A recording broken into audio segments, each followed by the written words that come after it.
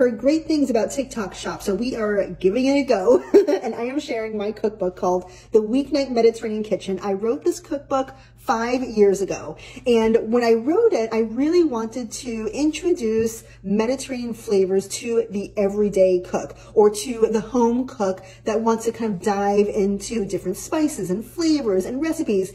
And they wanted to learn like how to do that. And when I wrote this book, I really wanted to make it approachable for the everyday uh, home cook. And I, I really believe I did that. So there's a lot of classic recipes. There's a lot of like pantry kind of staple recipes and also a whole section of different spices. And I talk about what does it taste like? Here's the recipes that are in it. If you don't have the spice, you can use this instead. So I really break it down for you. But um, I am so proud of this book. Let me show you what it looks like on the inside.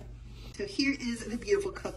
I took every photo in this cookbook. So every recipe has its own photo and the chapters are broken down by like courses. So there's appetizers or meze, there's main dishes, uh, salads, vegetables, sauces, like dips that you can add, you know, classes like hummus, I'll show you, and a little um, section for like cocktails and some sweet treats. Oh, there's me.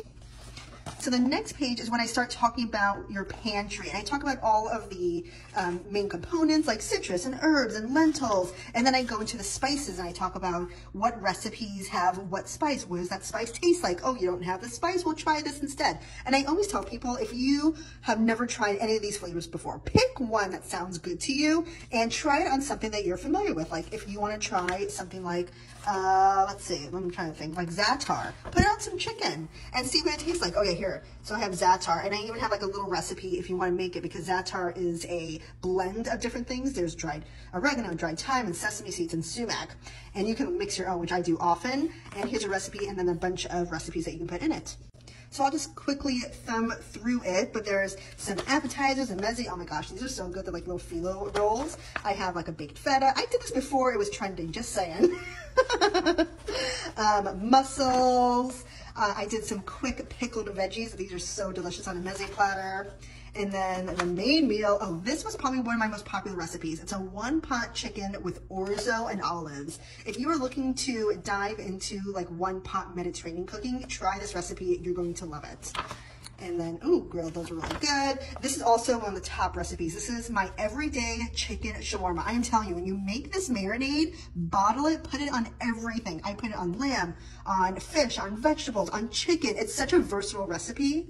It's really delicious. And then that um, is a green tahini sauce. So it's a tahini sauce with lots of fresh herbs and it's just absolutely delicious. And then we go into soups. I mean, how pretty is that? And salads. And then there is, oh, that beautiful salad, I love it. And then there's like a vegetarian chapter. So this was a play off of um, stuffed grape leaves. Instead of rolling them, I kind of made like a little unstuffed version. And then I did lentil falafel. This is really good. It's like a baked orzo with tomatoes. Anyway, so lots of beautiful, colorful, spicy, flavorful recipes. This is on sale. I will send you a signed copy to you. And I always appreciate your support.